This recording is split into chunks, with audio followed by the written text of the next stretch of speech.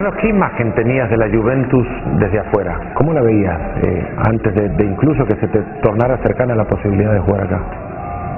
Bueno, yo ya tuve un contacto hace dos años más o menos con, con la Juventus, que no, no pudimos concretarlo después. Ella tenía una imagen de, de un equipo que se estaba formando muy bien, de una institución donde se quería levantar de- del golpe tan duro que tuvo. De- entonces eh, no se pudo desde hace dos años atrás más o menos no se pudo concretar mi pase y siempre me quedé con esa espina ¿no? de poder venir a jugar a la Juventus Eh, y bueno ahora con, con Conte y, y todo el equipo que tiene atrás la verdad que eh, aún más quería venir porque sé que es un equipo que es que es un equipo fuerte que, que está muy bien y bueno eso me, me impulsó a venir también ¿Cuántas veces escuchaste eso de eh, a los delanteros en Italia es difícil hacer gol? En Italia es complicado hacer gol, las defensas italianas se cierran. Y venís a Italia igual, a, a- a buscar ese reto.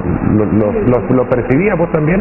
Sí, sí, es un desafío, es un desafío eh, propio, ¿no? De, de- de saber que, que en Italia es todo más eh, táctico, ¿no? Digamos, se juega mucho tácticamente, el fútbol es más eh, inteligente en sí, ¿no? No, no, no se juega tan rápido como se puede jugar en Inglaterra, un fútbol rápido, eh, preciso, de ida y vuelta, donde no acá se es eh, en los detalles, tenés que estar eh, en los pequeños detalles, en fijarte cómo te mueves, en cómo el otro equipo te juega, si te espera o te sale a buscar y, y tenés que estar en todas esas cosas y, y la verdad que uno eh, sigue creciendo como jugador, ¿no? que eso es lo importante.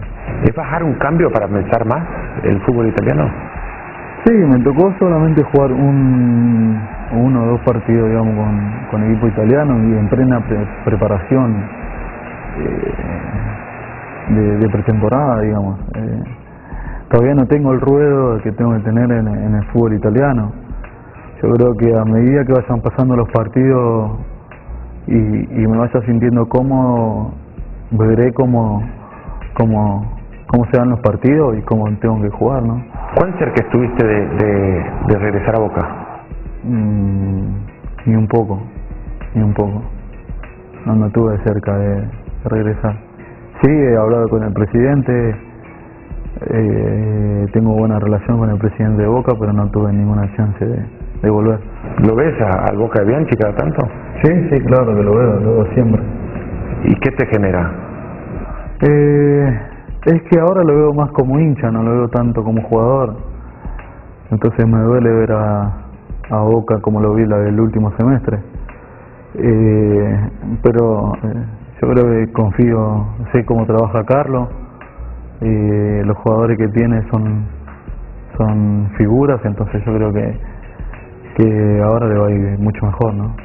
¿Cómo tomas las, las, eh, noticias que de repente rondan el, el mundo Boca y que vinculan tu nombre y una vuelta cuando me acabas de decir que no estuviste ni cerca? Mm, bronca, bronca porque la, la gente siempre cuando se nombra, cuando me nombra y, y se dice que voy a volver a Boca, se ilusiona, ¿no? Pero no hay nada de cierto, entonces uno eh, le da un poco de bronca porque ilusionan a la gente donde no, no hay, no hay chance de que, de que, de que vuelva en ese momento, ¿no? En ese momento no había chance de que vuelva, porque quería seguir jugando en Europa, quería seguir jugando a primer nivel, entonces eh, todavía no había la chance de volver, ¿no? Hablaste de la selección, ¿te sentís afuera todavía? Sí, pero ya, ya es pasado para mí, ¿no? Ya es como que hablar de la selección es pedir algo o, o si hablar de la selección es como que estás pidiendo volver o, o- o cosas así, ¿no? Y uno no, uno cuando le preguntan de la selección dice lo que siente, nada más. ¿Es eh, un tema para vos olvidado incluso en el año Mundial? Sí, para mí sí, porque ya está. Ya dije lo que tenía que decir sobre la selección y no tengo más nada que decir. Si uno sigue, sigue envolviéndose y esas cosas, es como, como te digo, ¿no? Como que uno sigue o quiere pedir para que lo llame, no.